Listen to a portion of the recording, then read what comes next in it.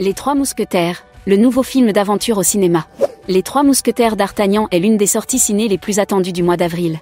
Disponible depuis le 5 avril dans les salles obscures françaises, Les Trois Mousquetaires est un nouveau film franco-germano-espagnol qui met en scène l'histoire de la France.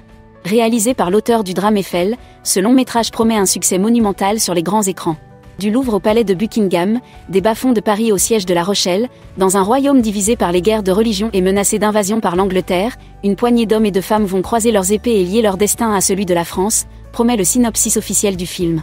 Ce dernier met en vedette François Civil, l'acteur iconique de la série 10% qui incarne le personnage principal d'Artagnan. Il sera accompagné par l'actrice française Eva Green qui joue le rôle de Milady de Winter. Par ailleurs, Pio Marmaille, Vincent Cassel, Lina Coudry ainsi que Romain Durifon, eux aussi, partie du casting des trois mousquetaires d'Artagnan pour camper respectivement Porthos, Athos, Constance Bonacieux et Aramis.